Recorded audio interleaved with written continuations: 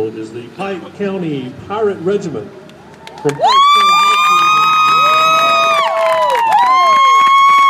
School. Principal Mike Maddox, Superintendent of Pike County, Dr. Michael Duncan, Band Booster President Brent Fortson, and the band is under the direction of Chad Reynolds.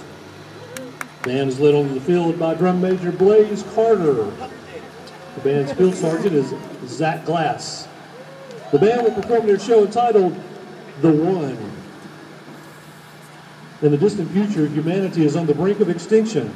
One amongst us has the chance to save the human race. The search for the one begins.